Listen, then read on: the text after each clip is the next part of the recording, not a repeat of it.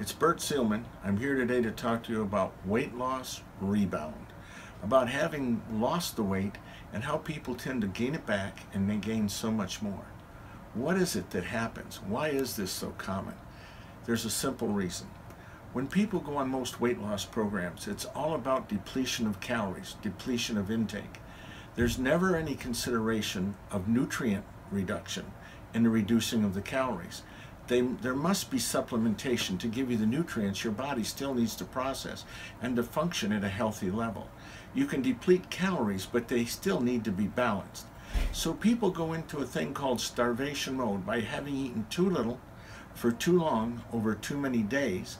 They tend to lose lean tissue and fatty tissue. Most programs will not give you a body composition test every two weeks at the minimum to prove that you're only losing fat and not losing lean. You see, when you lose lean muscle tissue, each pound of muscle causes you to burn 50 to 100 calories per day just in maintenance alone. That's to keep the body oxygenated and keep it repaired. So if you lose those pounds of lean, you're losing metabolism. You're slowing the metabolism. So you're slowing the metabolism down while losing the fat, and you get to this point where your metabolism is so slow that anything you eat, when you start to come off of that abnormal low intake of calories, your body is in a starvation mode. It wants to survive. It sucks up everything it can and turns it all immediately into fat.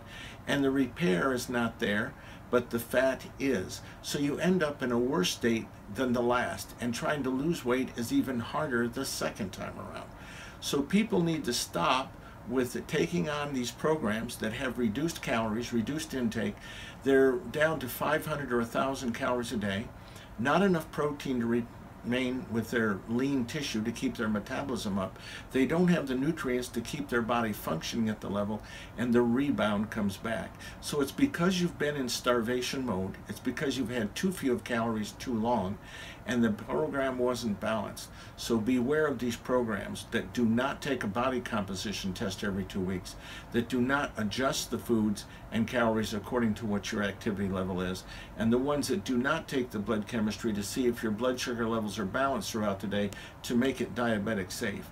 If a weight loss program is not diabetic safe, it is not a program that you want to take on or try to consider, as you're not going to learn for the lifetime.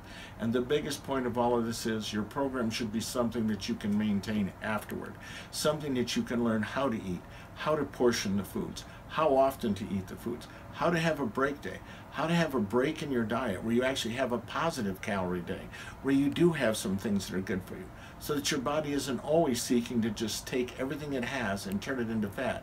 Because priority is the body's main consideration. The priority is energy. Energy is number one. Repair is number two.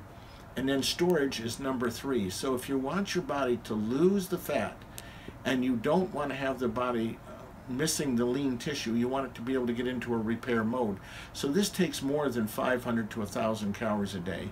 It takes some activity and it takes a balanced program to do this. So make sure you're getting body composition tested every two weeks at the minimum or the program is not safe. Thank you. It got off.